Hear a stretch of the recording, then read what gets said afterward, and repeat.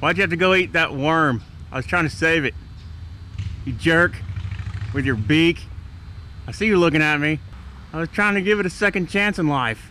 When I went into my office, you came down and you plucked the life from it. Stupid jerk.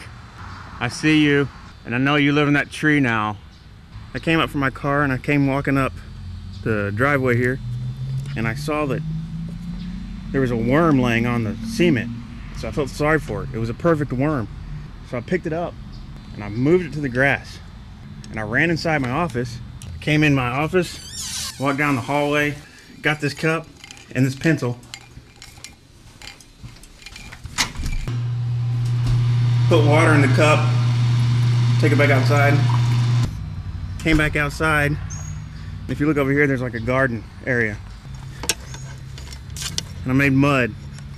And I took this pencil and I jabbed the, the I made, made like a little mud pit with the pencil. It's all soft and muddy now.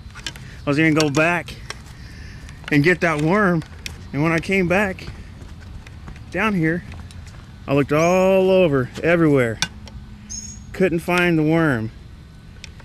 And then I heard the horrifying noise that all worms fear and I saw that thing right there.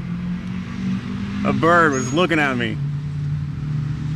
He was looking at me trying to help that worm and he's waiting for me to go away and he's waiting for his chance to pounce on the worm and pluck life from that poor little worm. The only wanted to live and waller in the mud. Jerk! Look at you cheeping with your beak. You know what goes around comes around. There's gonna be a kitty cat waiting for you. Hey, where'd you go? Cat. If I would have come outside and seen that bird pluck that life out from that worm that I tried so hard to save, I would have been like, yeah, yeah, yeah, yeah, yeah, yeah, yeah. If I would have seen that bird come down and get that worm from the ground, I would have been like, yeah, yeah, yeah.